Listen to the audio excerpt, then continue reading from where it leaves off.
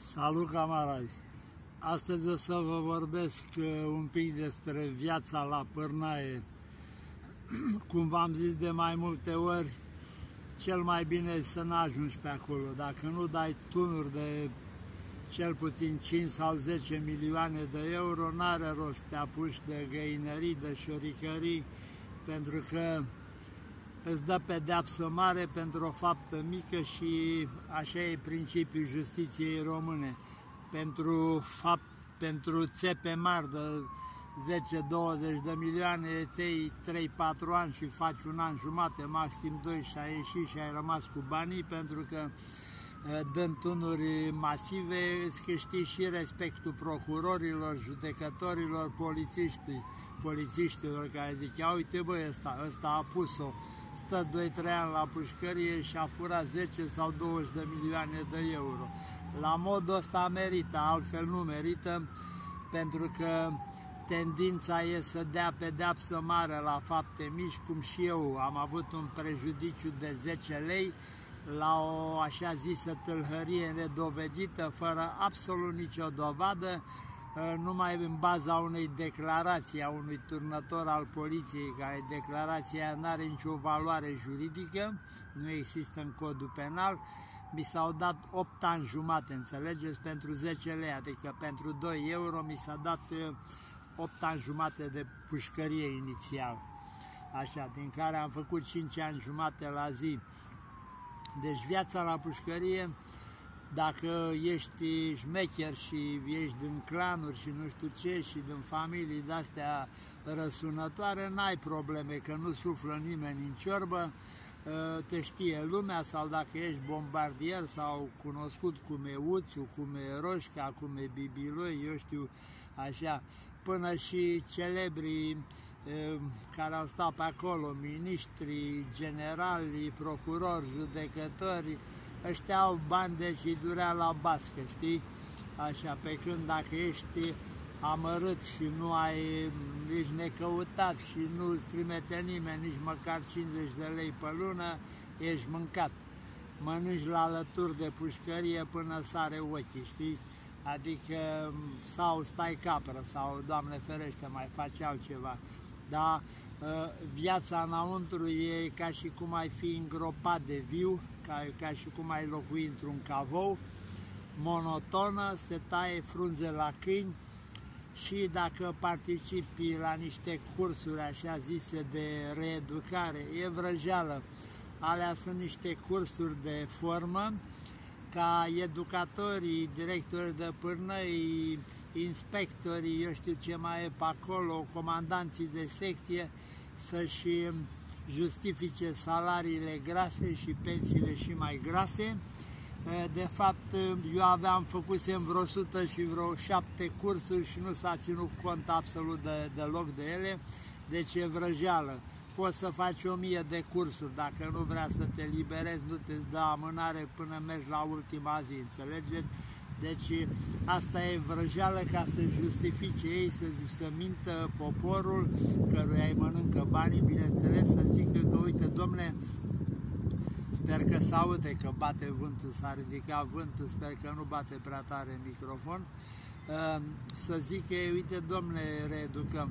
Din uh, deținuții care sunt momentan în România, vreo 23 de mii și când eram eu erau 40 de mii, nu s-a reeducat niciunul, absolut niciunul. Uite, eu mă reeduc singur, vedeți, fără ajutorul lor. De patru ani n-am mai făcut nicio faptă, nimic, am văd de treaba mea, vând miere, filmez, mai câștig un bănuț de la YouTube, mai, mai câștig o milioane de la miere, deci ce să fac? Mă întind când me pătura se poate trăi și minimalist. Ați văzut, trăiesc patru zile la oraș, trei zile la țară, așa trăiesc în natură, trăiesc cum vrea mușchii mei, nu mă deranjează nimeni, nu deranjez pe nimeni. Așa, deci cum vă ziceam, la pârnaie e greu dacă ești necăutat, e dur, pentru că îi vezi pe ea, tu ești la plimbare, de exemplu, cum era pe secția 5-a, făceai plimbarea și era ziua de cumpărături, știi, care avea bani, veneau cu traistele arși pline, alții vene, vedeai că veneau cu o pungă de pufuleți, două pungi de pufuleți, o banană, știi, n-aveau oameni, erau necăutați, nu știu ce, sau să mai întâmpla că unii, ca să-și câștige și o pungă de cafea de aia ieftină, fortuna, sau o conservă de carne, de pește, ceva, un pachet de țigări, cărau traistele la Barosan, cum era din Becali, Gică Popescu, generali, miniștri, că erau când am fost eu, era și, erau mai mulți miniștri arestați, uh, Imre, stai cum îl chema, de la UDMR, Zolt, Zolt Imre sau cam așa ceva, asta cam un lapsus pe nume, era Codrus Sereș de la PSD, după aia a mai venit unul care și el a fost până, până în Parlament, deci ăștia ai durat la bască, că au furat destul, aveau salarii mari, au luat ciubucuri, au dat țepe, deci ăia îi trăiesc separat de prostime, trăiesc în, în secții speciale unde nu-i deranjează nimeni, cel mult trece pe lângă tine să ducă la muncă, sau să se întoarcă de la muncă. Unii mai munceau pe la Camera Comerțului, care aveau studii, nu știu ce. Deci, vă zic, camaraz, nu, mai bine stați în banca voastră, trăiți viața omului modest, nu merită să faceți fapte de doi bani pentru că vă luați pârnaie când nu se poate, când nu puteți să duceți. V-am zis, numai ăia care au dat tunuri mari sau ăia au dat tunuri, dar fac pârnaie puțină că au, au bani de avocat. Vă dați seama, dacă a dat un tun de 10-20 de milioane, poate să ia cei mai buni avocați. Bag acolo 500 de mii de euro la un avocat, îi scoate 3-4 ani, mai scrie o carte, două sau îi să o pune pe cineva, plătește pe cineva cu 3-4 mii de euro să le scrie și iese mai devreme oricum bogătanii și au și leprele, leprele de pe politice sau ăștia de prin business, ăștia au, au șanse mari să iasă mai repede decât un amărât. Dacă ești amărât la pușcărie, mergi cap de linie, înțelegeți? N-are nimeni milă cu tine, ești carne de tun, cum spune neamțul. Deci ești în momentul când ai intrat în, în cușca lor, în cușca ANP-ului, Administrația Națională a Penitenciarilor, ești un obiect, nu mai ești ființă umană, oricine te poate călca în picioare, pentru ei nici nu există, ești un obiect, ești un număr, ești numărul X, știi? Așa. Deci viața nu mai are nicio valoare acolo, practic ești un, ești un sclav. Eu consider că deținuți în România și în toată lumea sunt sclavi, pentru că nu au niciun drepturi, niciun drept, uh, poți să fii nevinovat ca un bebeluș, să fi fost în, uh, în timpul nepotrivit, la locul nepotrivit și te-au săltat și n-ai făcut nicio faptă, doar s-a nimerit să fii acolo unde să spărsese ceva, o mașină, eu știu, o casă sau nu știu ce, sau să făcuse un jaf nu te ascultă nimeni, dacă nu ai bani de avocați, nu te bagă nimeni în seamă. Avocații, dacă nu ai bani, nici nu se uită la tine, nu dă doi bani pe tine, oamenii se uită doar la cei care îi plătesc. Cei care nu au bani, deci ești, poți să spui cruce, știi, dacă ai 10-15 ani de pușcărie și n-ai, n-ai un ban, n-are ce să te caute, ești mâncat, știi? Ești ultimul de pe planetă, ești mai rău ca un câine vagabond, care și ăla îi mai, arunce, îi mai aruncă oamenii de milă un os sau ceva, o, o, o bucățică de carne. Acolo nu-ți dă nimeni nimica. Rar că oamenii sunt miloși la pușcărie, am întâlnit uh, câțiva, dar rar la pușcărie, în general fiecare pentru el. Uh, nu sunt sentimentaliste, sentimentalisme. Uh, mi s-a întâmplat să, să fiu în celulă unde erau Uh, oameni cu bani și oameni necăutați, știi că celulele cel puțin uh, la început, la preventiv, la nu știu ce, sunt făcute la plezneală.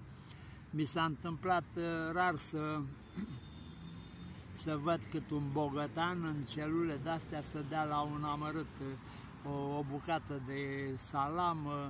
o bucată de cașcaval, o bucată de brânză, mi s-a întâmplat rar, să știți, în general se poate întâmpla că să zicem așa, într-o celulă de 15-20 de oameni, 3-4 să nu fie căutați. Vă dați seama, e ziua de e ziua de cumpărături, toată lumea vine cu traistele pline, nu știu ce, în primul rând că nici nu te duci, că dacă n-ai bani ce să faci, decât să faci turism, știi? Stai în banca ta,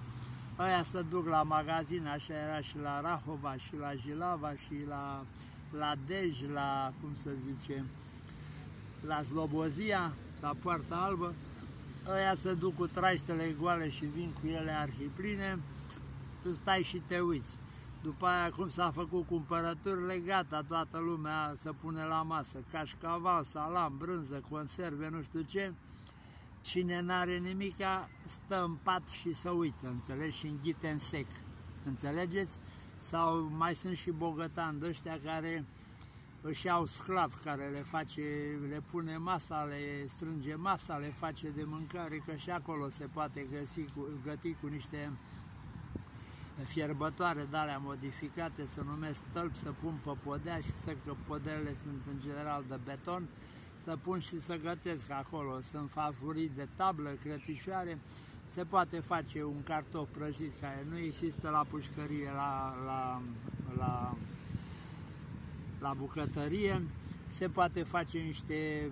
salam prăjit care are alt gust, chiar și salamul de pușcărie, dacă îl prăjeai, avea un gust ceva mai bun, știi, era puțin mai crocant. Vă dați seama, să fii într-o celulă de 25 de oameni, 3-4 eh, necăutați, al alții toți cu bani. Păi băi frate, înghiți în sec de sare capacile, știi, aia mănâncă, pe ce mănâncă o pune pe cafele, pe țigări, eu nu fumez, dar vă dați seama ce chin pe unul care fumează, să n-aibă țigări și să fie ăia să fumeze acolo. Și că înainte să fumau în celule, după aia a făcut nefumător, fumător, îți dai seama, vă dați seama să ăia cu burta plină de cârnați, de pește, de nu știu ce, de conserve, să pun pe țigări, pun și cafelele la fiert acolo și cu fierbătoarele, gata,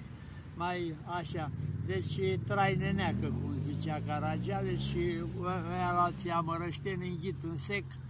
chinui și de faptul că n-au țigări, n-au niciun chiștoc, vă dați seama, să cerșeau chiștoace, să adunau chiștoace de pe jos, nu mai era vorba de joseală, omul era dominat de, de drog, știi, de țigare. Și dacă n-avea o lua pe pereți, aduna chiștoace după înscrumiere, după în curte, la plimbare, deci rar că dătea cine, le dătea cineva o țigare, că v-am zis, eu nu fumez, dar vă zic, camarazii, e o bestialitate fără margini în pușcăriile românești, o lipsă de umanitate crasă, Acolo vezi ce dispreț total are Guvernul României și Ministerul Justiției și Ministerul de Interne și procurorii și judecătorii și Administrația Națională a Penitenciarilor